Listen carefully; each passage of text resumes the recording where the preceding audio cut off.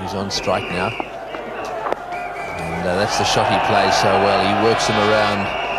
And so he's off the mark. This will slow things up a little bit. Uh, two new batsmen out there, not uh, nearly as likely to take the opposition bowling apart. Geoff Allott's in his last over. Yes, he'll be looking for another Yorker or two in this last over. Figures uh, so far of 9.2 overs, one for 32. So he's managed to keep that economy rate down at uh, 3.42. There's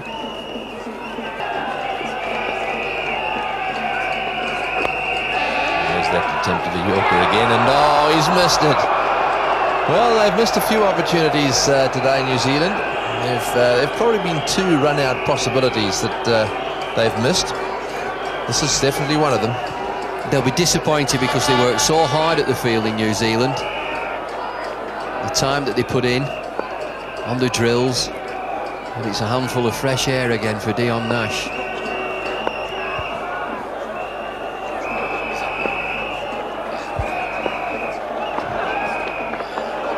Outside the off stump and through to the wicketkeeper.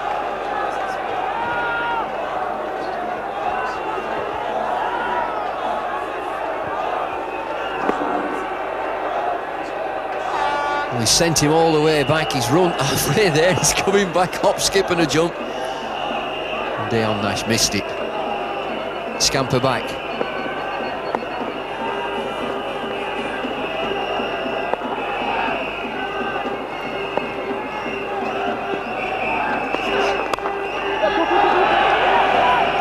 on the leg side. Will they come back for the second? No, is uh, and there's more than just calls out there at the moment. They're hand signals as well.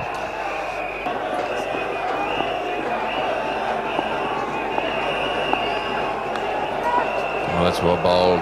So uh, that's a good over. Just two from that one in these circumstances. Very good. 245 for six.